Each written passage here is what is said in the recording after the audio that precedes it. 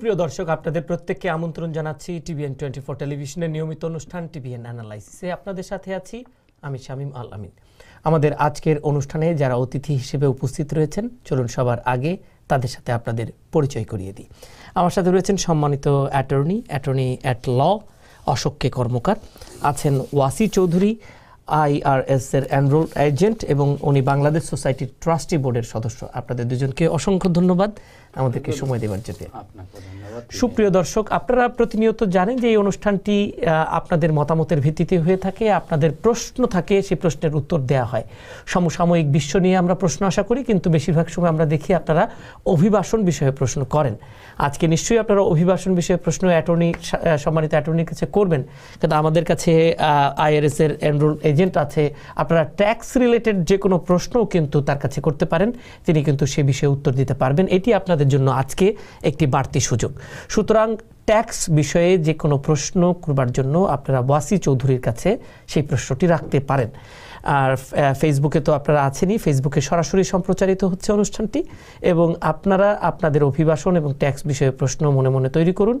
আমরা শুরুতেই president Donald Trump Vatican সিটিতে পোপের সাথে দেখা করেছেন। বহুল আলোচিত এই রিপোর্টটি দেখে নিয়ে তারপর আলোচনায় যাব।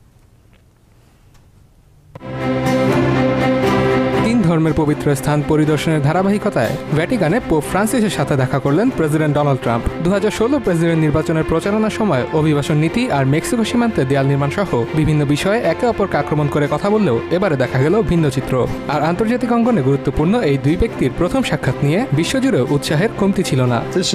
Interesting, Chris, is that when you have the, these two leaders today, you got the leader of the greatest moral and spiritual authority in the world, the Pope, and you got the leader of the strongest natural earthly power. সাক্ষাতের শুরুতে দুজনকে খুব একটা হাস্যোজ্জ্বল দেখা লাগলেও শেষ দিকে অনেকটাই স্বাভাবিক দেখা যায়। এ সময় ট্রাম্পকে শান্তির প্রতীক জলপাই গাছের ভাস্কর্য উপহার দিয়ে পোপ ফ্রান্সিস বলেন জলপাই গাছের মতোই বিশ্বে শান্তি বয়ে আনবেন ট্রাম্প। এছাড়াও অহিংস ও শান্তির রাজনীতির প্রতি আহ্বান জানিয়ে ট্রাম্পকে লিখিত বার্তাও দেন তিনি। পাশাপাশি পরিবেশ সংরক্ষণের আহ্বান জানিয়ে দেয়া হয় একটি চিঠিও।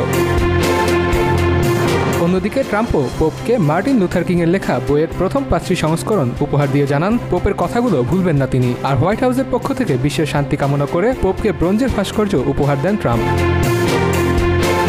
পোপকে উপহার দিয়ে তার আশীর্বাদ কামনা করেছেন ফার্স্ট লেডি মেলানিয়া ট্রাম্পও। উপহার বিনিময় শেষে ত্রিশ মিনিটের দীর্ঘ আলোচনায় পরিবেশ সংরক্ষণ সহ নানা বিষয়ে আলাপ করেন পোপ ফ্রান্সিস আর ডোনাল্ড ট্রাম্প। আর বৈঠক শেষে রসিকতায় মেতে ওঠেন দুজনই।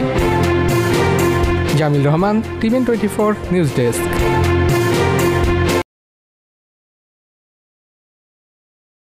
আপনি জানেন আপনারা দুজনই জানেন যে নির্বাচনের সময় দেয়াল নির্মাণ নিয়ে কথা হয়েছিল। যে ব্যক্তি সেতুর বদলে দেয়াল নির্মাণ করতে চান তাকে পোপ খ্রিস্টানি বলতে রাজি নন। এরকম মন্তব্য করে ফেলেছিলেন. কি বলবেন প্রথমে আপনার কাছে? পোপ আপনি জানেন যে পোপ দেশের খ্রিস্টান সম্প্রদায় বিশেষ ক্যাথলিক ক্যাথলিক সম্প্রদায়ের উনি সর্বশ্রেষ্ঠ ব্যক্তিত্ব পোপ। এবং স্বাভাবিকভাবেই তার বক্তব্য অনেক ওজন বহন করে অবশ্যই এবং অনেক ইম্পর্টেন্ট তবে অনেকেই এটাকে খুব ভালোভাবে নেন এই কারণে যে এটা অনেকটাই রাজনীতির সাথে, ধর্মের একটা সংমিশ্রণের মতো মনে হয়। পোপ যেহেতু আপনি জানেন বর্তমান পোপকে সবাই বলেন যে দরিদ্র লোকের পোপ উনি নিজেও মনে করেন এবং দক্ষিণ আমেরিকা থেকে উনি এসছেন। স্বাভাবিকভাবেই ওনাকে যখন সিলেক্ট করা হয়েছিল সে, সেটার কারণ ছিল যে উনি দক্ষিণ আমেরিকার যে সাধারণ মানুষ, যে দরিদ্র মানুষের উনি একজন প্রতিনিধি, সেই হিসেবে হয়তো উনি কথা বলেছেন। সুতরাং সেদিক থেকে পোপের বক্তব্য অবশ্যই ইম্পর্টেন্ট এবং একই সাথে এটা একটু বিতর্কিতও বটে। আমার ভাষা যে উনি যে করেছেন সেটা ধর্ম এবং রাজনীতিকে একটু দূরে রাখা গেলে বোধহয় ভালো হতো। আচ্ছা সেটি আপনি আপনার ব্যক্তিগত মতামত দিয়েছেন। ওয়াসি চৌধুরী, আজকে যে পোপের সাথে অত্যন্ত সম্মানিত একজন ব্যক্তি। তার সাথে যুক্তরাষ্ট্রের প্রেসিডেন্ট ডোনাল্ড ট্রাম্প তিনি অত্যন্ত সম্মানিত এবং খুবই প্রভাবশালী। তাদের দেখার এই বিষয়টি রিপোর্টটিতে দেখছিলেন আপনি। আপনি একটু যদি মূল্যায়ন করেন। আমি এটা বলব এইভাবে যে পপ উনি হচ্ছেন যেটা অশোক ভাই সেম কথা বলতেছেন যে পপ পপ হচ্ছে উনি খ্রিস্টান সম্প্রদায়ের জন্য সর্বশ্রেষ্ঠ ব্যক্তিত্ব বর্তমান এই সমাজ এই বর্তমান সময়ে। তো কিন্তু এখানে কিছু কিছু জিনিস থেকে যায় যে উনি খ্রিস্টান সম্প্রদায়ের ব্যাপারে ধর্মীয় সেক্টরটাতে উনি যেটা সিদ্ধান্ত দিতে পারেন এই জিনিসটা মনে হয় উনি রাজনৈতিকভাবে কোনো দেশের উপরে কথার উপরে আসাটা ততটা বিতর্কিত অবশ্যই। আর সেই সাথে মনে করেন যে এখন ওয়াল দেওয়া এটা হচ্ছে একটা দেশের তার ওন ডিসিশন তো এই ডিসিশনের উপরে পপ যদি কোনো কথা বলেন সেটা হয়তো ইমিউনিটির সাইডে যায় বাট কিন্তু জিনিসটা তো একটা দেশের সিদ্ধান্তে উনি নাক গলানো মনে হয় না এটা সবার জন্য উত্তম হবে। না, এখন আমি অনেকে- মনে মনেও করেন যে ভ্যাটিকান সিটির চারদিকে কিন্তু দেয়াল আছে। আচ্ছা আমরা যেটি বলতে চাইছি যে তারপরও একটি তিনটি দেশ তিনটি ধর্মের পবিত্র জায়গায় সফরের উদ্দেশ্যে বেরিয়েছেন প্রেসিডেন্ট ডোনাল্ড ট্রাম্প এবং একই সাথে আরও কয়েকটি গুরুত্বপূর্ণ ইভেন্ট তার আছে। তো এর মধ্যে এই যে সবশেষ ধর্মীয় স্থান যেটি ভ্যাটিকান সিটিতে গেলেন এইটি নিয়ে যদি একটু বলেন যে সৌহার্দ্যপূর্ণ পরিবেশে সম্মানিত পোপ এবং আমরা দেখলাম যে ডোনাল্ড ট্রাম্প তারা কথা বলেছেন। ধর্মীয় ব্যক্তিত্ব রাজনৈতিক ব্যক্তিত্ব যারা কিনা দেশকে রিপ্রেজেন্ট করেন তাদের ব্যক্তির উপরে উঠতেই হবে। আপনার নির্বাচনকালীন যে কথা সেটা বাইরে উপরে অবশ্যই উঠতে হবে। সেটা তো সার্বক্ষণিক কথা না এবং সব শেষ কথাও না। প্রত্যেকে তার মতামত ব্যক্ত করেছেন উনিও করেছেন। সে সময় উনি অবশ্যই হয়তো সেভাবে কথা বলেননি ডোনাল্ড ট্রাম্প। তো সবচেয়ে বড় ঘটনা হলো যে নির্বাচনকালীন যে কথা সেই কথাগুলোকে ধরে রেখে আপনি ভবিষ্যতে এনমিটির কোনো জায়গা আসলে নেই। আমার সুতরাং সেদিক থেকে ওনারা সবাই ওনাদের অবস্থান থেকে স্ব জায়গা থেকে ওনারা ওনাদের নিজস্ব গণ্ডির বাইরে উঠে জাতি দেশ এবং পুরো বিশ্বের কল্যাণের জন্য কাজ করবেন সেটাই ধন্যবাদ। আমরা দর্শকদের উদ্দেশ্যে একটি টেলিফোন নাম্বার দিতে চাই। সেই টেলিফোন নম্বরটিতে আপনারা যে কেউ প্রশ্ন করতে পারেন আপনাদের প্রশ্নের উত্তর দেওয়ার চেষ্টা আমরা করব। আমাদের টেলিফোন নম্বরটি six four six three zero seven nine eight two eight এই নম্বরে আপনারা যে কোনো প্রশ্ন করতে পারেন এবং আপনাদেরকে আগে জানিয়েছি, ওয়াসি চৌধুরী যিনি আমাদের একজন আরেকজন অতিথি, তিনি ট্যাক্স বিষয়ে যে কোনো প্রশ্নের উত্তর আপনাদের দিতে পারবেন আর অভিবাসন বিষয়ে প্রশ্নের উত্তর দেওয়ার জন্য রয়েছেন অশোককে কর্মকার। আমরা আলোচনাটি চালিয়ে নেব এবং এক ফাঁকে হয়তো আপনারা নিশ্চয়ই প্রশ্ন নিয়ে যুক্ত হলে আমরা আপনাদের প্রশ্নগুলো করব। একটি প্রশ্ন এসছে নাজমা বুলবুল, তিনি ফেসবুকে করেছেন। তার বোনের জন্য অ্যাপ্লিকেশন করেছেন দু হাজার চার সালে, কিন্তু অ্যাপ্রুভাল লেটার লস্ট হয়ে গেছে। এখন কি করবেন এটি জানতে চান। অ্যাপ্রুভাল লেটার যদি লস্ট হয়ে যায় যে থাকে উনি কি অবশ্যই ফেসবুকে যে ফেসবুকে এরপরে পরবর্তী ই হবে আপনার এনবিসিতে যোগাযোগ করা। তো যদি আপনার লস্ট হয়ে যেয়ে থাকে তবে আপনি ইমিগ্রেশন থেকে আপনি সেটা কিন্তু আরেকটা কপি নিতে পারবেন। I eight twenty four application করে আপনি সেই কপিটা নিতে পারবেন। সেটা মানে সেটি। তাহলে মানে এটি খুব বেশি জটিল হ্যাঁ, তৈরি করবে না বলে আপনি নিশ্চয়ই মনে করেন। তো বর্তমান আপনার কাছে একটু যাই। সৌদি আরব তারপরে ইসরায়েল, তারপরে এই যে ভ্যাটিকান ভ্রমণ। এরপরে কিছু গুরুত্বপূর্ণ রাষ্ট্রে তিনি যাবেন এবং গুরুত্বপূর্ণ কিছু কর্মসূচিতে প্রেসিডেন্ট ডোনাল্ড ট্রাম্প পুরো সফরটিকে আপনি কীভাবে দেখেন? ডোনাল্ড ট্রাম্প এই যে একটা জিনিস, তার কিছু কিছু কথা হয়তো আছে, আমরা অনেকে হয়তো নেগেটিভ সেন্সে নিতে পারি। নির্বাচনকালীন কথা সব সময়ই ভিন্ন থাকে। এটা দুনিয়ার যে দেশে যান সব দেশেরই একই অবস্থা। নির্বাচনকালীন যদি কোনো কথাবার্তা নির্বাচনের সময় যারা বলে, তা হান্ড্রেড পার্সেন্ট ঠিক রাখা কারও দ্বারা সম্ভব হয় না। আশাবাদ ব্যক্ত করে সবাই। তো সেই দিক থেকে ডোনাল্ড ট্রাম্প একটা জিনিস সে যথেষ্ট যে কথাগুলো নির্বাচনের আগে বলছে, সে কিন্তু কয়েকটা কথা নির্বাচন পরেও সে বলতেছে, সেম কথাটা। দ্যাট ইজ কিছু কিছু, অনেকে বলবে যে এটা রং আবার অনেকে বলবে এটা রাইট। তো এই জিনিসটা এইখানে জাস্ট অভিমত থাকবেই। কিন্তু দেশের জন্য কোনটা ভালো এটা যদি ডোনাল্ড ট্রাম্প ফাইনালি যদি সমঝোতার মাধ্যমে যারা দেশের জন্য ভালো ওই জিনিসটা যদি সে করে করতে পারে উনি তাহলে দেশের জন্য মঙ্গল। একজন দর্শক আছে আমরা একটু প্রশ্নটা নিয়ে নিই। সম্মানিত দর্শক কে আছেন? নাম পরিচয় দিয়ে প্রশ্নটি করুন। সালামু আলাইকুম শামীম ভাই। জি ওয়ালাইকুম আসসালাম। বলুন ভাই। থেকে আমিন বলছি। কোথা থেকে? আমার কুইন্স থেকে। কুইজ থেকে। হ্যাঁ আমিন বলছি। আমার প্রশ্ন অশোককে কর্মকার সাহেবের কাছে। জি করুন। আমি দুই হাজার চার সালে আমার ভাইয়ের জন্য অ্যাপ্লিকেশন করি এবং ওখানে ও- ও পিএ স্ট্যাটাস মেরিট দেই। কিন্তু তখন তার ওয়াইফের নাম দেই নাই। এখন তার প্রায়োরিটি ডেট আসছে আমি অলরেডি চিঠি পেয়েছি। তো এখন আমি তার ওয়াইফের নাম এবং বাচ্চা দুটো আছে নাম দিতে চাই।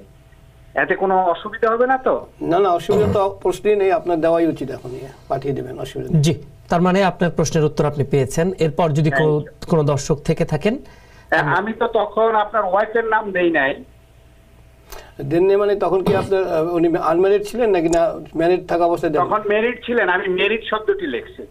ওকে যদি না দিয়ে থাকেন এখন দিয়ে দিবেন অসুবিধা নেই। অসুবিধা ঠিক হবে না দিলে বরং সমস্যা হবে আবার ওনার জন্য অনেক সমস্যা আচ্ছা, দেরি আচ্ছা। হবে আর কি। ধন্যবাদ আপনাকে। এবার কে আছেন? প্রিয় দর্শক আমাদের সাথে? প্রিয় দর্শক কে আছেন? নাম পরিচয় দিয়ে প্রশ্নটি করুন।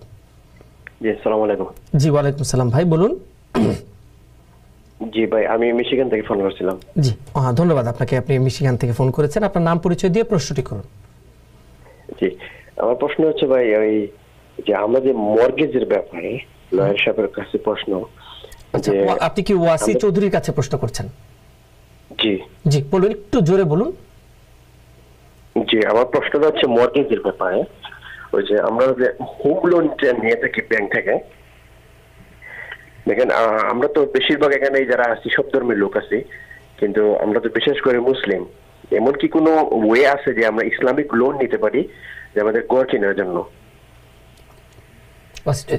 এটা প্রশ্নটার উত্তরটা এরকম যে মর্গেজ ব্রোকার যারা আছে, তারা আপনাকে আনসারটা দিতে পারবেন, এক ফার্স্ট অফ অল তারপরে এখানে আসতেছে ইসলামিক ল নামে অনেকগুলা প্রোগ্রাম এখন আছে মার্কেটে আছে।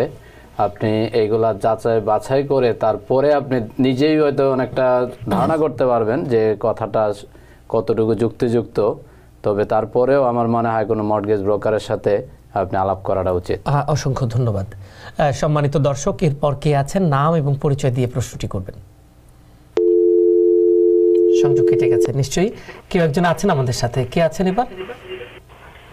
হ্যালো জি আমরা শুনছি প্রিয় দর্শক নাম পরিচয় দিয়ে প্রশ্নটি করুন। হ্যাঁ আসসালামু আলাইকুম আমার নাম ফরহাদ আমি জেমেকে থেকে বলছি। জি ওয়ালাইকুম সালাম ফরহাদ ভাই বলুন।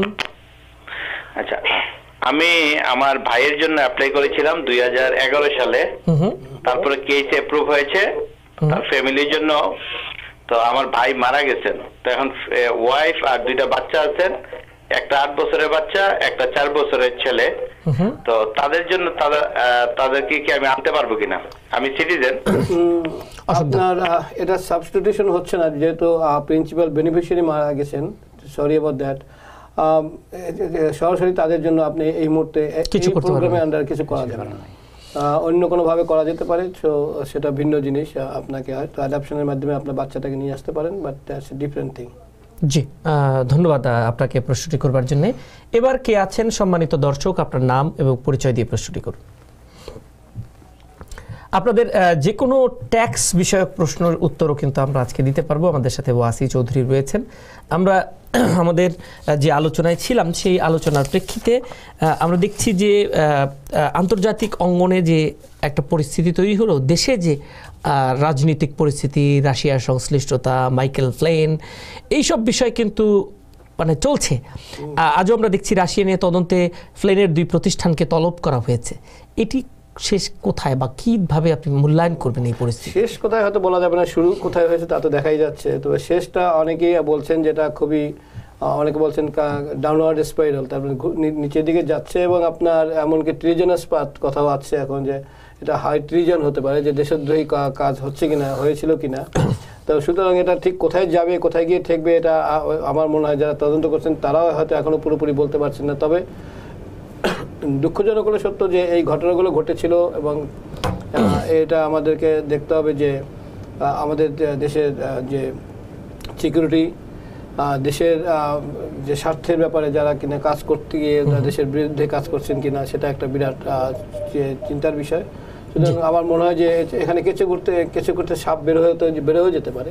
আচ্ছা আমরা তো নজর রাখব। আমরা একজন দর্শক আমাদের সাথে যুক্ত হয়েছেন। কে আছেন প্রিয় দর্শক?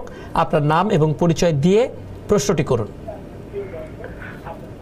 হ্যালো হ্যালো আসসালামু আলাইকুম। জি ওয়ালাইকুম আসসালাম বলুন। জি আমার নাম ওয়াকিল হাসনাত আমি ব্রুকলিন থেকে বলছি।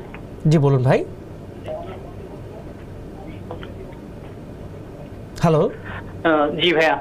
তো ভাই আমার আমার প্রশ্নটা হইল যে আমার বাবা বর্তমানে একটা কোম্পানির মাধ্যমে এখানে কর্মরত আছে এইচ ওয়ান বি ভিসায় হুম। তো এই মুহূর্তে আমার বাবা মানে যে কাজ থেকে মানে রিজাইন নিতে চাইতেছে অথবা লিভ করতে চাইতেছে। সো তো যখন এইচ ওয়ান বি থেকে সে লিড করবে তো এই মুহূর্তে নিউ ইয়র্কে থাকা বা থাকার লিগ কোনো লিগেল ওয়ে আছে নাকি? কারণ যখন এইচ ওয়ান বি থেকে সে লিড করবে সাথে সাথে তখন তার পরিস্থিতি কি হবে? হ্যাঁ। লিভ করার আগেই যদি কোনো কিছু করতে হয় কোনো চিন্তা করতে হয় লিভ করার আগেই করতে হবে। লিভ করার পরে যখন আপনি স্ট্যাটাস চলে যাবে তখন স্বাভাবিকভাবে আপনি অন্য কোনোভাবে উনি কিন্তু এটা স্ট্যাটাস অ্যাডজাস্ট অ্যাডজাস্ট না আপনার অন্য স্ট্যাটাস চেঞ্জ করতে পারবেন না। কাজে ওনাকে এখন থেকেই চিন্তা করতে বলুন যে কীভাবে করা যায়। আমাদের মনে হয় যে ওনা- ওনার কথাটা অনেক বেশি হবে। যেটা আপনার এই মুহূর্তে জবাব দেওয়া খুব মুশকিল। এবং আমার মনে হয় একজন সম্মানিত দক্ষ অ্যাটর্নির সাথে আপনারা ব্যক্তিগতভাবে যোগাযোগ করে এ বিষয়ে আরও উত্তর হয়তো বা পাবেন। কে আছেন প্রিয় দর্শক? আপনার নাম পরিচয় দিয়ে প্রশ্নটি করুন। হ্যালো আপনার টেলিভিশনের ভলিউমটি কমিয়ে নেবেন এবং একই সাথে আপনি মোবাইল ফোনটি বা টেলিফোনটি মুখের কাছে নিয়ে প্রশ্নটি করবেন। হ্যালো আসসালামু আলাইকুম। জি ওয়ালাইকুম সালাম। ভাই আমি ওই যে ফরহাদ জ্যামেগা থেকে আমি আসলে প্রশ্নটা আমার লাইনটা কেটে গিয়েছিল। কোন প্রশ্নটা? ওই যে আমার ভাইয়ের জন্য আমি অ্যাপ্লাই হ্যাঁ করেছিলাম উত্তর উত্তর উত্তর উত্তর দিয়েছেন সম্মানিত অ্যাটর্নি যে যেহেতু উনি যে আমি তো হ্যাঁ উনি যেহেতু প্রিন্সিপাল না হ্যাঁ, প্রিন্সিপাল বেনিফিশিয়ারি প্রিন্সিপাল বেনিফিশিয়ারির মারা যাওয়ার কারণে তার ভাইয়েরা ভাইয়ের ছেলেরা বা সন্তানেরা সেই সুবিধাটি আপাতত পাবেন না। দুঃখজনক হলো এটাই হলো। আচ্ছা। এটি দুঃখজনক হলেও এটি আসলে আপনি যদি একটু ব্যাখ্যা দেন। হ্যাঁ, এটা ব্যাখ্যা তো এটাই আর কি প্রিন্সিপাল বেনিফিশিয়ারি মারা গেলে যে সাবস্টিটিউশনের সুবিধাটা পাওয়া যায় না সুতরাং এটা দুঃখজনক বাটে না। এটা কি করতে পারেন উনি আর কিছু করতে পারেন? অন্য অনেক অন্য ডিফারেন্ট কিছু করা যেতে পারে সেটা হলো যে বাচ্চাটাকে আপনি আনতে চান তাহলে অ্যাডাপশনের মাধ্যমে হয়তো আনতে পারেন। তো সেটা ব্যাপারে আলাদা করে কথা বলতে হবে। এবং একজন অ্যাটর্নির সাথে উনি কথা বলে দেখতে পারেন ব্যক্তিগতভাবে আপনি। অসংখ্য ধন্যবাদ। কে আছেন প্রিয় দর্শক? নাম পরিচয় দিয়ে প্রশ্নটি করুন। হ্যালো হ্যালো সালাম ভাইয়া। ওয়ালাইকুম আসসালাম। শুনছি আমরা আপনাকে। আমি জামাল বলছিলাম উডসাইড থেকে। আমি তো অশোক কে কর্মকার স্যারের সাথে একটু কথা বলতে চাচ্ছিলাম। জি বলে ফেলেন বলে ফেলেন বলেন। আহ, স্যার নমস্কার। আহ, আমার নাম জামাল। তো আমি আপনার সাথে এই জিনিসটা জানতে চাচ্ছিলাম, ঢাকা থেকে আমার একটা কাজিন ও অ্যাকচুয়ালি বেশ কিছু দেশে অবশ্য ঘুরছে, সিঙ্গাপুর, মালয়েশিয়া বিভিন্ন জায়গায়। তো অ্যাকচুয়ালি এখানে যদি ভিজিট ভিসার জন্য ঢাকা এমবিসি ফেস করে দেওয়ার কতটা পসিবিলিটি আছে, মনে করেন আপনি? এটা বলা খুবই মুশকিল আপনার প্রথমত হলো যে ভিজিট বিষয়ে যখন কেউ ইস্যু করে এম্বাসি তারা দেখতে চান যে যারা এখানে আসবেন তারা এখান থেকে এসে এখানে এসে হলো ওনাদের ফিরে যাওয়ার সম্ভাবনা কতখানি? কাজে ওনারা যদি সেটা প্রমাণ করতে পারেন যে উনি এখানে এসে এদেশে থাকবেন না চলে যাবেন তাহলে ওনাকে ভিসা দিতে পারেন। সুতরাং এটা নির্ভর করে অনেকগুলো অনেকগুলো ম্যাটার উপর নির্ভর করে শুধু একটা বিষয় না যে কারও আর্থিক কতখানি তার সুবিধা আছে দেশে তার জায়গা জমি থেকে শুরু করে তার ইন্টেনশন সে কতবার দেশে বাইরে গিয়েছে অনেকগুলো ব্যাপারগুলোতেই অনেক। ভেরিয়েবলস আছে এখানে।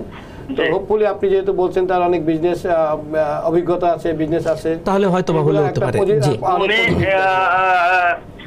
উনি অ্যাকচুয়ালি ব্যাংকের সাথে জড়িত। তো উনি বিভিন্ন দেশে এমনি ঘুরতে যায় আবার ব্যাক করে। জি ধন্যবাদ আমরা উত্তরটি দিয়েছি। আপনাকে ধন্যবাদ আমরা এবার আরেকটি প্রশ্ন নিব। একটি প্রশ্ন এসছে এখানে সেটি হচ্ছে ওয়াসি চৌধুরী আপনি যদি এটা অ্যাড করতে চান নির্বাচনে রাশিয়ার সাথে যদি ট্রাম্প ক্যাম্পেইন টিমের কোনো যোগাযোগ প্রমাণিত হয় তাহলে শাস্তি কি হতে পারে? এটি অবশ্য এটা ল- এই যে ল দেশের কান্ট্রি লর উপরে ডিপেন্ড করবে। এটা আমরা কেউ এখানে কেউ কিছু বলার নাই।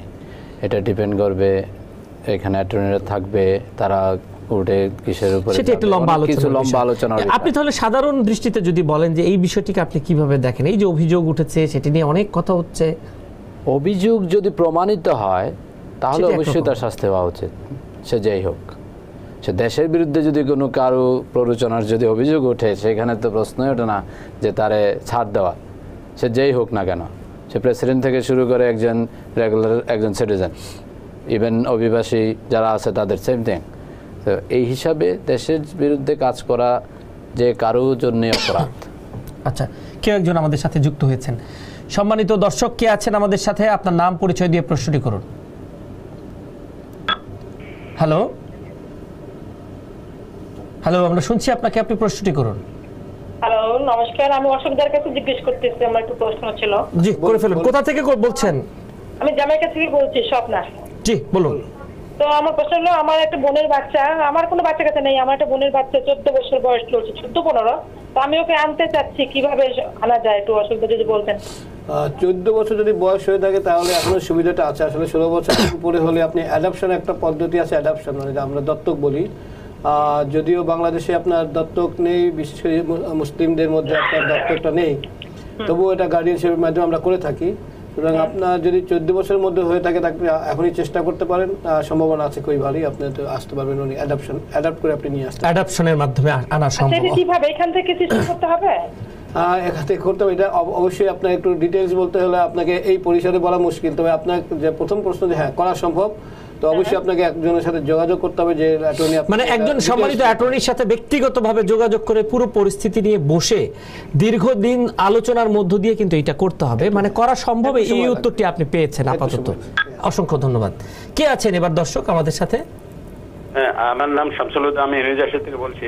কোথা থেকে ভাইয়া? New Jersey. জি নিউ জার্সি থেকে। জি বলুন ভাই। আমি একজন সিটিজেন। দেশে আমার কিছু সম্পত্তি আছে ওইগুলা বিক্রি করে টাকা কীভাবে এদেশে নিয়ে আসতে পারি এবং আমি এদেশে একটা বাড়ি কিনতে চাই। আচ্ছা এটা ওয়াসি ভাই উত্তর দিতে পারবেন। পারবেন? এটা। বলা যাওয়া যাবে আপনার যে প্রশ্নটা এটা হচ্ছে যে আপনি বাংলাদেশ থেকে সম্পত্তি বিক্রি করে এই দেশে টাকা আনতে চান। বাংলাদেশের ক্ষেত্রে এখানে কিছু সমস্যা রয়ে গেছে। তার যেটা বাংলাদেশ গভর্নমেন্টের ব্যাপার গভর্নমেন্ট এখানে অথরাইজ করে না। সেই ক্ষেত্রে আপনাকে আরও জিনিস চিন্তা করতে হবে যে বাংলাদেশের সম্পত্তির কি আপনি কি রিপোর্ট করছেন এখানে? আপনি আছেন না ট্যাক্স ফাইলে কি রিপোর্ট করছেন? হ্যালো আমার বাড়ি আমি এখানে বলছি যে আমার দেশে বাড়ি আছে। ও দেশে শুধু বাড়ি বলছেন আর সম্পত্তি? এটাতে কোনো ইনকাম আছে কিনা? বাড়িতে কোনো ইনকাম আছে কিনা? হ্যাঁ। জেনারেল অ্যান্সারটা দিয়ে দিন। বাড়ি কিছু ভাড়া পাই আর কি অল্প তো জিনিসটা আসছে যে বাংলাদেশ গভর্নমেন্টের ব্যাপার বাংলাদেশ ব্যাংকের সাথে আপনি যোগাযোগ করতে পারেন যদি তাদের থেকে ছাড় দেয় সেই ক্ষেত্রে আপনি আনতে পারবেন যদি সেল করেন। আমার মনে হয় আপনাকে ধন্যবাদ। আপনি একটু ব্যক্তিগতভাবে আরেকটু খোঁজ খবর করতে হবে। আতিকুর রহমান ফেসবুকে প্রশ্ন করেছেন অশোককে কর্মকারের কাছে। তিনি তার ভাইয়ের জন্য অ্যাপ্লাই করেছেন। দু হাজার দশ সালে আর কত বছর লাগতে পারে? দু হাজার দশ। তো আরও প্রায় এখন সাত আরও পাঁচ বছর তো আপনি ধরে রাখেন। আচ্ছা আরও পাঁচ বছর হয়তো বা অপেক্ষা করতে হবে এই সিস্টেমের কারণে। এবার কে আছেন সম্মানিত দর্শক? আমরা এই প্রশ্নটি নিয়ে একটু বিরতিতে যেতে চাই। হ্যালো? হ্যালো কে আছেন? হ্যালো? হ্যালো? জি আমরা শুনছি আপনি প্রশ্নটি করুন। নাম এবং পরিচয় দিয়ে প্রশ্নটি করুন। আমি কি করতে পারি? জি জি বলুন শুনছি আমরা। আচ্ছা আমি অশোক কুমার সাহেবের কাছে প্রশ্নটা করতে চাচ্ছি যে আমার মানে ছেলে এবং মেয়ে হ্যাঁ? দুইজনের জন্য আমি ন্যাশনালাইজেশন জন্য অ্যাপ্লাই করেছিলাম। কিন্তু আমার ছেলের ন্যাশনালাইজেশনটা হয়ে গেছে কিন্তু আমার মেয়ের এক সপ্তাহ পরে আমার কাছে কিছু কাগজ চাইছে বুঝছেন? তো কাগজগুলো আমি অলরেডি মানে সার্টিফিকেট মেলে পাঠাইছি কিন্তু আজ পর্যন্ত আজকে নয় দশ মাস হয়ে গেছে আমি কিন্তু রিপ্লাই কোনো রিপ্লাই পাইনি। এখন আমি কি করতে পারি? কোথা থেকে বলছেন ভাই আপনি? আমি থেকে বলছি। আচ্ছা নামটা কি ভাইয়া? আমি থেকে বলছি আমার নাম কাজী আশরাফ। জি কাজী আশরাফ ভাই ব্রোংস থেকে বলছেন অশোক দা। আশরাফ সাহেব আপনি যে অনেকদিন মনে হচ্ছে যে পাচ্ছেন না আপনি ওদের সাথে যোগাযোগ করতে পারেন। হয় আপনি চিঠি দিতে পারেন নাহলে ওদের একটা যে নাম্বার আছে আহ, সেই নাম্বারে ওদের কল করুন। কল করার পরে ওরা আপনাকে অবশ্যই প্রশ্ন করবে। যে কবে আপনি পাঠিয়েছেন সমস্ত কিছু। তো আমার মনে হয় যে এখন সময় হয়েছে আপনি একটু প্রশ্ন মানে ওদেরকে কল করুন অথবা ওদেরকে লিখুন। অথবা একজন অ্যাটর্নির পরামর্শ নিন যাতে কিনা তারা আপনাকে এখানে কি কি করতে পারে না উনি? উনি একটা অ্যাপয়েন্টমেন্ট করার চেষ্টা করতে পারে না? হ্যাঁ, অবশ্যই যাওয়ার একটা মানে স্কোপ রয়ে ইনফো পাস করতে পারেন ইনফো পাস ইনফো পাসে গিয়া উনি অ্যাপয়েন্টমেন্ট করে যাওয়াটা করে মনে। আপনার জন্য বেস্ট হবে। আচ্ছা আপনাদের দুজনকেও ধন্যবাদ এবং দর্শক আপনাকেও ধন্যবাদ। আমরা একটা ছোট্ট বিরতিতে যাব ফিরে এসে আরও কিছু সময় আমাদের রয়েছে সেটি নিয়ে আমরা আলোচনা করব। সবাই সাথে থাকুন।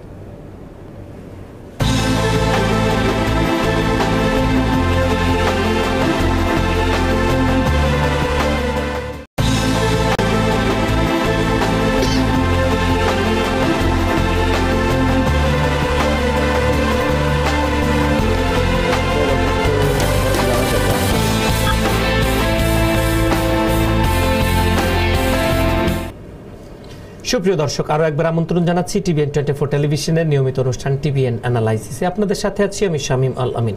আমাদের আজকে যারা অতিথি রয়েছেন, তাদের সাথে আরও একবার পরিচয় করিয়ে দিচ্ছি অশোক কে কর্মকার এবং ওয়াসি চৌধুরী।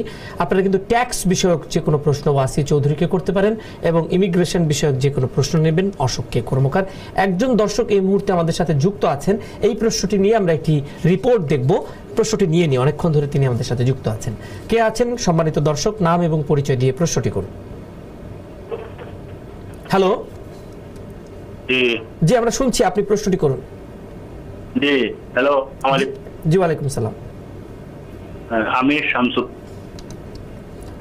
জি বলুন। আমি আমি শামসুদ্দিন। জি। আমি প্রশ্ন করতে চাই। আপনি প্রশ্নটা করুন। আমার যে আমার দেশে মেয়ে এখন আট বছর হয়ে। গেছে এখন বছর চলে এখন মানে আমরা আমরা আপনাকে শুনতে পাচ্ছি না। আপনি কি আহ, হ্যালো?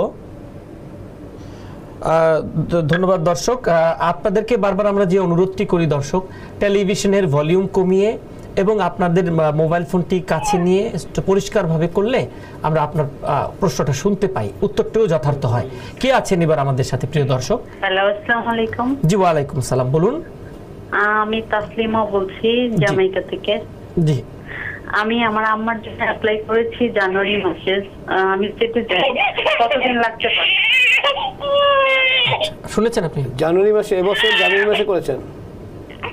আপনি যেহেতু জানুয়ারি মাসে করেছেন এটা বেশি সময় লাগার কথা না। আপনার আই ওয়ান থার্টি অ্যাপ্রুভ হয়ে গেলে আপনার এনবিসি থেকে শুরু করে যখন অ্যাম্বাসিতে চলে যাবে। তো এবছরের মধ্যে হয়ে যাবে আশা করি। আচ্ছা অসংখ্য ধন্যবাদ। মারুফ বিল্লা তিনি বলছেন অনেকের কাছেই শুনেছেন ইউএসএ তে দশ বছর থাকলে ডকুমেন্ট পাওয়া সম্ভব। আসলে সেটা কি সম্ভব? অসম্ভব না বাট কি অবস্থায় আছেন আর অনেকগুলো ভেরিয়েবলস জড়িত কাজে প্রথমত হ্যাঁ, মানে কেউ যদি চুপচাপ বসে থাকে এবং আনডকুমেন্টেড থাকে তাহলে হবে না। তাকে একটা প্রসেসের মধ্যে হ্যাঁ, যেতে হবে। চুপচাপ বসে থাক বসে থাকবেন তো চুপচাপই অবশ্যই আপনি যখন ডকুমেন্টারি না থাকে। আরও কত অনেকগুলো ভেরিয়েবলস আছে আপনার কি এখানে যদি দশ বছর থাকলেই হবে না। তার সাথে আপনার এখানে কোয়ালিফাইং রিলেটিভ লাগবে যদি আপনি যে টাকা আপনি জানতে চাচ্ছেন সেটা যদি হয়। আর যদি আপনি এখানে বৈধভাবে থাকেন দশ বছর তাহলে অন্যভাবে আনডকুমেন্টেড দশ বছর থাকলে তার কি আনডকুমেন্ট থাকলে যে কোয়ালিফাইং রিলেটিভ লাগবে আপনি শুধুমাত্র থাকলেই হলো না যে আপনাকে আপনাকে কিছু দিতে হলে আপনাকে এখানে যেমন আপনার একটা হয়তো একটা আপনার চাইল্ড হলো সে দশ বছর বয়স হলো তার। তখন সে কারণে এ দেশে তখন সে কারণে আপনি করতে পারেন। আমাদের এখানে যেটা আছে ক্যান্সেলেশন রিউবল সেগুলো নানা বিষয় থাকে। ধন্যবাদ আপনাকে। এখন ভাই বোনদের জন্য অ্যাপ্লাই করলে কতদিন লাগে? সবুজ মাহমুদ। প্রায় বারো বছরের মতো আছে বারো বছরের মতো আছে। একটি রিপোর্ট আছে আমাদের হাতে একটু দেখে নিই। তারপর আমরা আবার একটু আপনাদের প্রশ্ন নিব।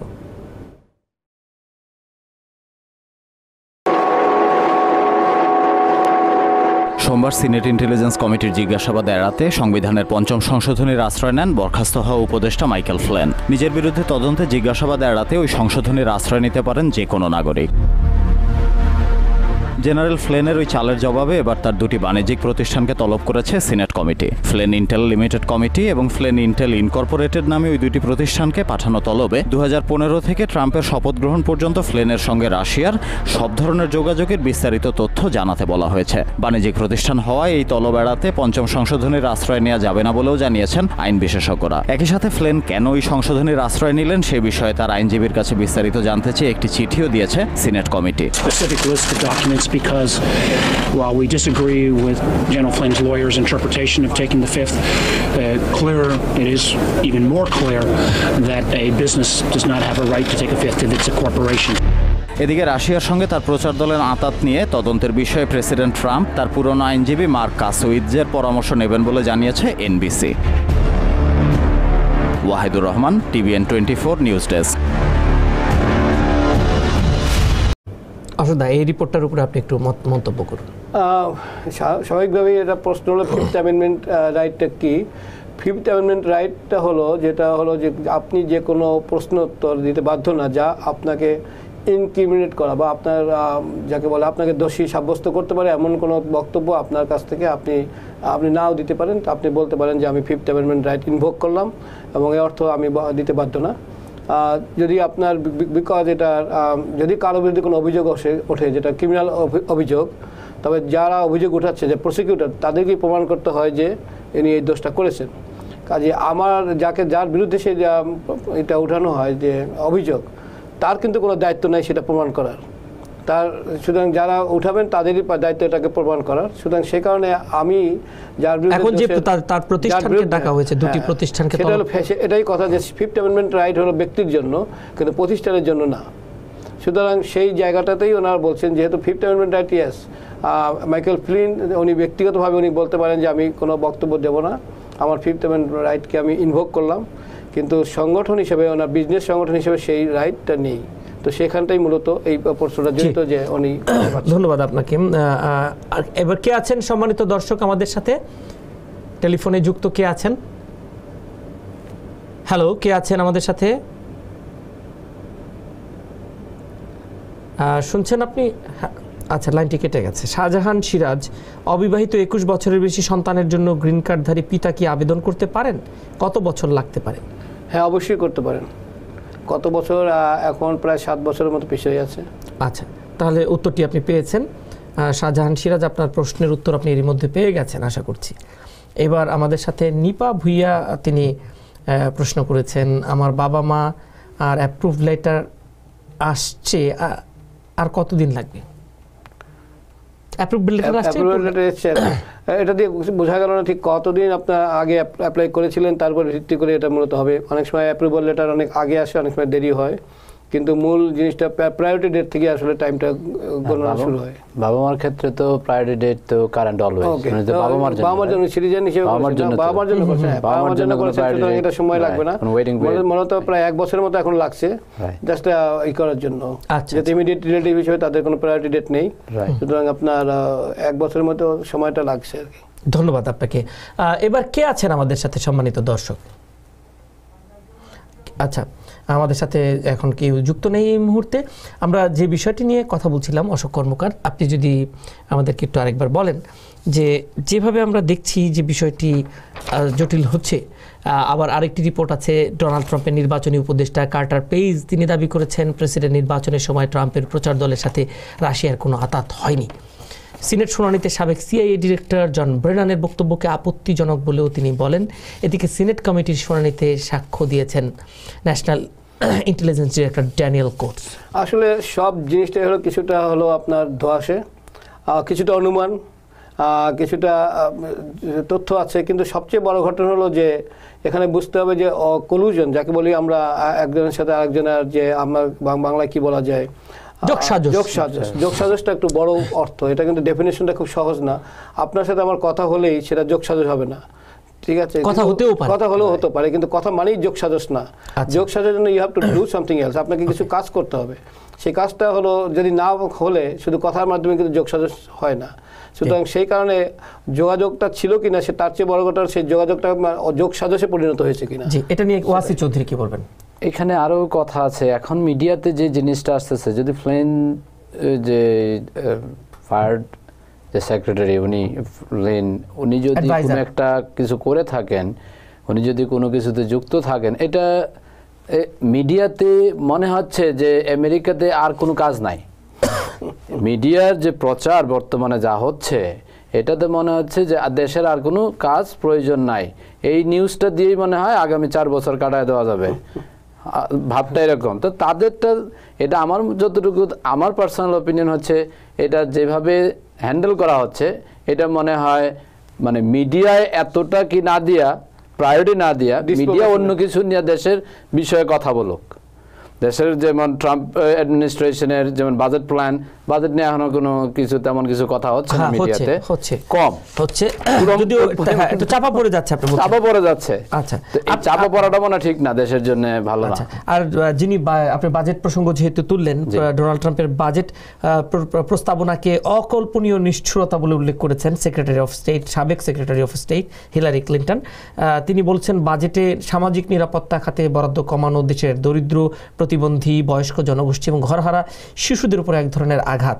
প্রস্তাবিত বাজেট ক- কড়া সমালোচনা করেছেন ডেমোক্রেট সিনেটর বার্নি স্যান্ডার্সও নতুন বাজেট নিয়ে উদ্বেগ জানিয়েছেন অনেক রিপাবলিকান নেতা। এটা স্বাভাবিক একটা এটা দলীয় এটা পলিটিক্যাল ভিউজ থাকবেই। একটা এক পার্টি যখন ক্ষমতায় থাকে উনি যখন একটা বাজেট দেয় অন্য পার্টি এটা সমালোচনা করবে এটা স্বাভাবিক জিনিস। তবে যদি ট্রাম্প অ্যাডমিনিস্ট্রেশন যে বাজেটের ব্যাপারে কথা বলছেন যে তিন এখন যে ট্যাক্সের ব্যাপারে যে জিনিসটা রয়েছে পাঁচটা স্তর আছে ট্যাক্স ফাইলের মানে কেসের যেটা বলেন যে পার্সেন্টেজ সে সেই ক্ষেত্রে এখানে সে করতেছে তিনটা।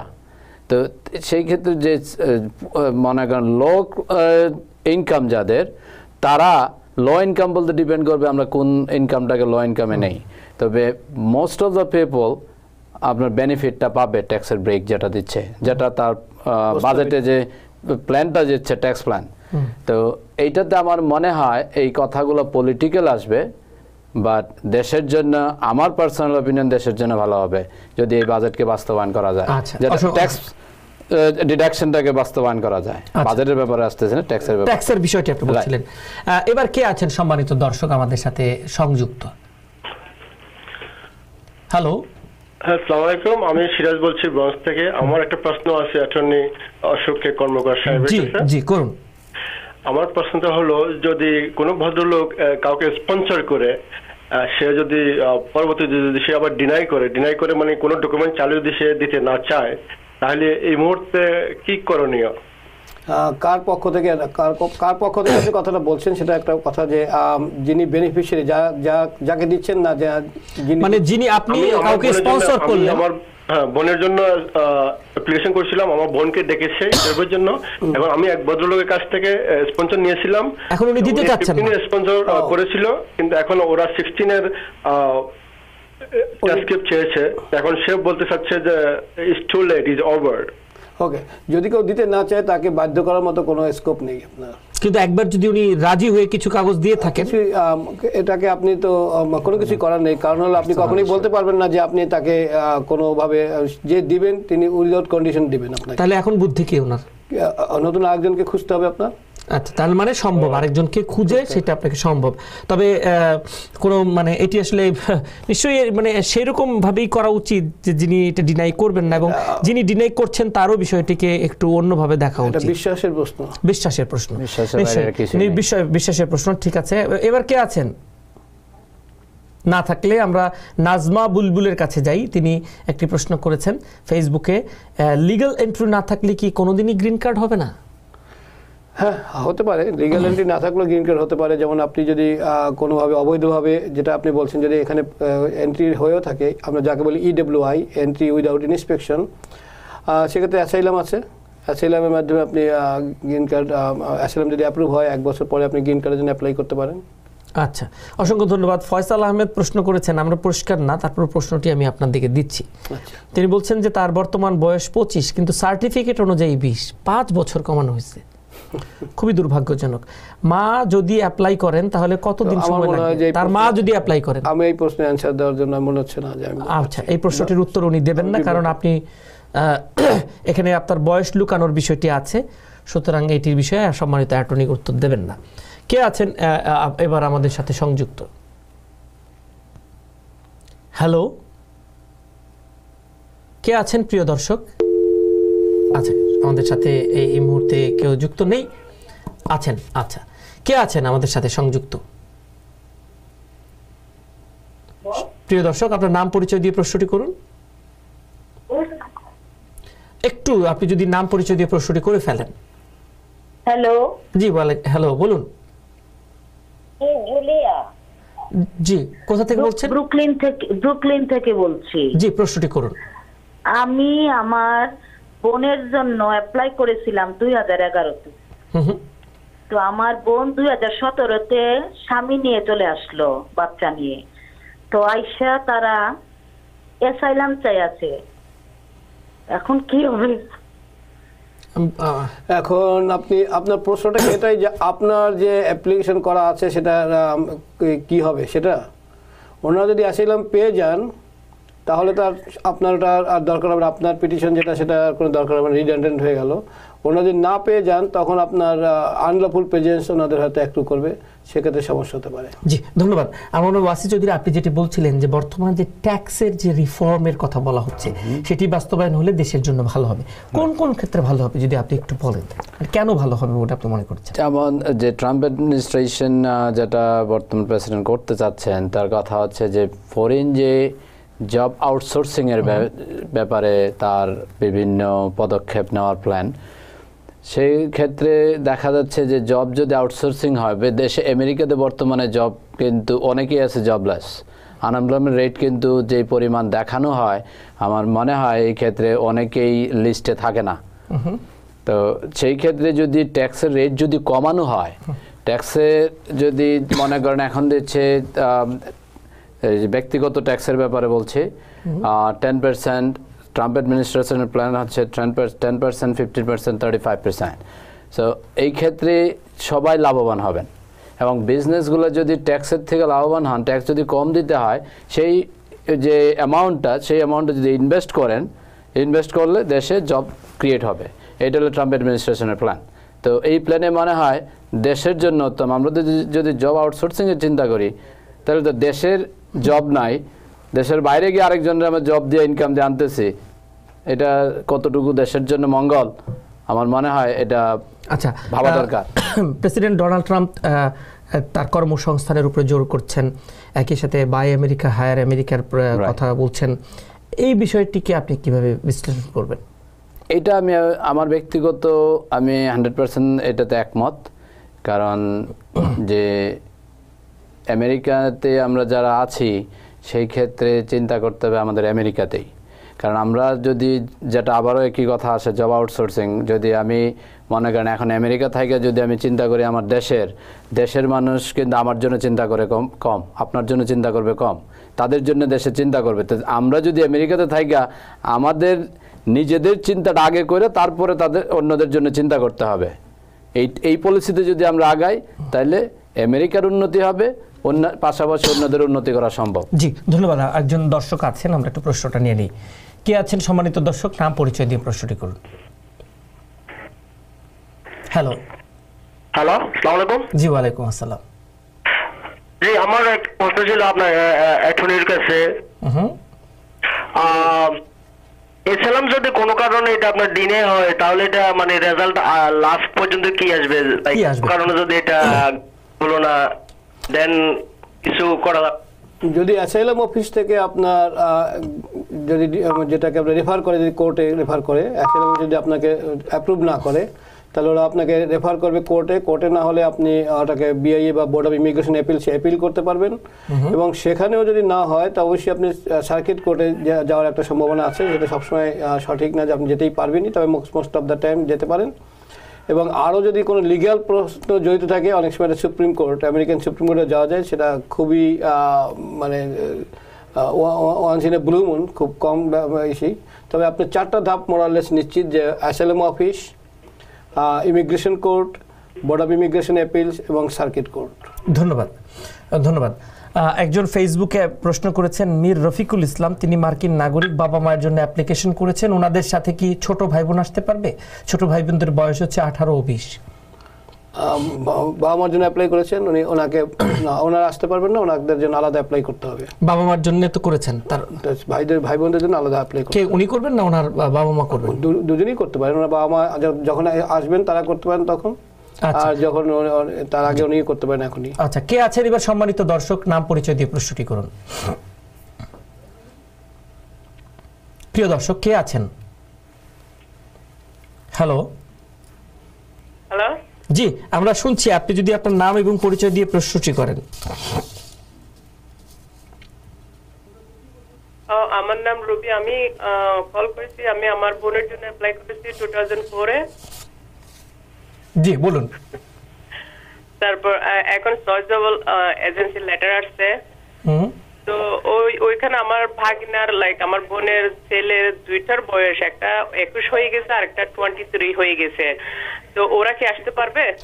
আহ, এটা বলতে হলে আপনাকে আর বেশ কয়েকটা ইনফরমেশন দরকার হবে। সুতরাং আপনার যেমন কবে আপনার প্রায়োরিটি ডেট ছিল ওনাদের ডেট অফ বার্থ কি এবং কবে এটা কারেন্ট হয়েছে এতগুলো জিনিস যদি জানা যায় তাহলে বলা যেতে পারে কিন্তু এটা বলার জন্য আপনার এখানে বসে বলা মুশকিল কারণ I have to do the math আচ্ছা আজকের জন্য আমরা একটু শেষ প্রশ্ন নেই ধন্যবাদ আপনাকে। কে আছেন সম্মানিত দর্শক? নাম পরিচয় দিয়ে প্রশ্নটি করুন। জি আসসালামু আলাইকুম। ওয়ালাইকুম আসসালাম। হ্যাঁ আমি ব্রুকলিন থেকে বলতেছি আবুল কাশেম। জি কাশেম ভাই বলে ফেলেন। হ্যাঁ আমার প্রশ্ন হচ্ছে যে আমি ওই সিটিজেনশিপের জন্য ফিঙ্গারপ্রিন্ট দিয়ে এসেছি। বলুন। হ্যাঁ তারপরে? হ্যাঁ ওই এখন এইটার এই ইয়ার জন্য এক্সামের জন্য কতদিন পরে ডাকে স্বাভাবিকতভাবে? এরকম কোনো এক্স্যাক্টলি নিয়ম নেই যে কতদিনের মধ্যে ডাকে। বর্তমানে যেটা চলছে প্রায় পাঁচ থেকে ছ মাসের মতো লাগছে। এবং এটা হয়তো ধন্যবাদ। আমরা অনুষ্ঠানের শেষের দিকে আছি। ওয়াসি ওয়াসি ভাই একজন দর্শক আছে একটু সংক্ষেপে দ্রুত প্রশ্নটি করে ফেলুন। কে আছেন? হ্যালো হ্যালো জি করুন প্রশ্নটি? সালামালাইকুম জি ওয়ালাইকুম সালাম। অ্যাকচুয়ালি আমি আমার ছোট ভাইয়ের জন্য অ্যাপ্লিকেশন করছি লাইক আপনার সিক্স ইয়ার্স এগো হুম। হুম। তো এখন তো ভাই বোনের ক্ষেত্রে তো আই থিঙ্ক লাইক আপনার টুয়েলভ টু ফোরটিন ইয়ার্স লাগে না? হ্যাঁ long time so is there any other option like আপনার কোনো মাল্টিপল আগে কিছু করা যায় কিনা? কোথা থেকে বলছেন ভাই আপনার নাম পরিচয়? আমার নাম হলো শাহাদাত হোসেন আমি ব্রঞ্জ থেকে বলছি। ব্রঞ্জ থেকে ওকে অনেকগুলো পদ্ধতি আছে কিন্তু আপনার ভাইকে ইমিগ্রেন্ট ভিসা তো একটা আর নন ইমিগ্রেন্ট ভিসা অনেকগুলোই আছে। কাজে উনি এখানে ইনভেস্ট করে আসতে পারেন ভিজিট ভিসা এসে ঘুরে যেতে পারেন। উনি ছাত্র হিসেবে এখানে আসতে পারেন। অন্য অনেকগুলি আছে নন ইমিগ্রেন্ট ভিসা তো ইমিগ্রেন্ট ভিসাতে আপনি করেছেন ওটার জন্য অপেক্ষা করতে হবে এবং ইনভেস্টমেন্টের মাধ্যমে আপনি অবশ্য করতে পারেন উনি ইমিগ্রেন্ট ভিসা আসতে। আমার মনে হয় আমার মনে হয় অসংখ্য ধন্যবাদ আপনাদেরকে। আর ওয়াসি চৌধুরী আপনি যদি সংক্ষেপে কিছু একদম শেষের দিকে আছি আমরা। আচ্ছা। আজকের অনুষ্ঠানটি নিয়ে বা আপনি যদি আর কিছু বলতে চান? আজকের অনুষ্ঠানের ব্যাপারে টিভিএন টোয়েন্টি ফোরকে ধন্যবাদ আপনাকেও ধন্যবাদ। আর ভবিষ্যতে যদি কোনো ট্যাক্স রিলেটেড প্রশ্ন থাকে যোগাযোগ করতে পারেন। আর দেশে আমরা দেশের চিন্তা করি। কথাটা একটাই বলব আমি সবার কাছে রিকোয়েস্ট থাকবে যে আমেরিকা নিয়ে চিন্তা করি আমেরিকাতে আছি। এবং আমরা যদি নিজেরা যদি কিছু করতে পারি তাহলে দেশের জন্য কিছু করা সম্ভব। নিজেরা প্রতিষ্ঠিত না হলে দেশের জন্য কিছু করা সম্ভব হবে না। এই চিন্তাটা মাথায় রাখি। এবং আমেরিকায় যারা বসবাস করেন আমেরিকার কল্যাণ নিয়ে কল্যাণ নিয়ে চিন্তা করা উচিত। রাইট আমেরিকার কল্যাণ নিয়ে আমরা চিন্তা করি সবাই। নিঃসন্দেহে আমেরিকা মানে স্বপ্নের আমেরিকা first. আমেরিকা ফার্স্ট কে আছেন এবার আপনি সংক্ষেপে একজন প্রশ্ন করতেই চাচ্ছেন। কে আছেন প্রিয় দর্শক? জি আসসালামু আলাইকুম। জি আপনি দ্রুত করে ফেলুন আমরা হ্যাঁ জি আমার আমার নাম নাজমুল খান। আমি বঞ্চ থেকে বলছি। আমি আপনাদেরকে অনেক ধন্যবাদ জানাচ্ছি যে আপনাদের এই অনুষ্ঠানের মাধ্যমে অনেক কিছু এই- কমিউনিটির লোকজন জানতে পারছে। তো সেই জন্য আপনাদেরকে ধন্যবাদ জানাচ্ছি। আমার প্রশ্নটা হলো আমি আমার ভাইয়ের জন্য টু থাউজেন্ড সেভেনে আপনার অ্যাপ্লাই করেছিলাম। আর কত বছর লাগতে পারে? সেটা অ্যাটর্নি সাহেবের কাছে প্রশ্ন। দুই নম্বর প্রশ্নটা হলো আপনার ওয়াইফ ওয়াইফ যদি ইয়া অ্যাপ্লাই করে হাজবেন্ডের জন্য গ্রিন কার্ড দাঁড়িয়ে তাহলে কত বছর সময় লাগবে? ধন্যবাদ। ওয়াই- প্রথমত হলো আপনার ভাইয়ের জন্য যে দু হাজার সাতে করে থাকেন এখনও বেশ কিছুদিন সময় লাগবে দু তিন বছর তো লাগবেই। আর ওয়াইফের জন্য যদি করেন এখনও প্রায় দু- দু- বছর দুয়েকের মতো লাগতে পারে। এরকমই আছে। ধন্যবাদ। আমার মনে হয় আপনাদেরকে ধন্যবাদ জানাচ্ছি। ধন্যবাদ জানাচ্ছি অশোককে কর্মকার এবং ওয়াসি চৌধুরী আপনাদেরকে যারা অংশগ্রহণ করলেন এবং দর্শক আপনাদের অনেকের প্রশ্ন হয়তো বা নেওয়া সম্ভব হলো না। মনে কষ্ট পেয়েছেন আপনারা দুঃখ প্রকাশ করছি এবং আশা করছি যে আগামীকাল একই সময় আপনারা আবার চেষ্টা করবেন। আপনাদের জন্যই এই টেলিভিশন আপনাদের জন্যই সকল আয়োজন। সুতরাং আপনাদের প্রশ্ন নেয়া এবং সেটির উত্তর দেওয়া আমাদের দায়িত্ব। আপনারা আমাদের সাথে যেভাবে আছেন ভবিষ্যতেও থাকবেন এই আশা করছি।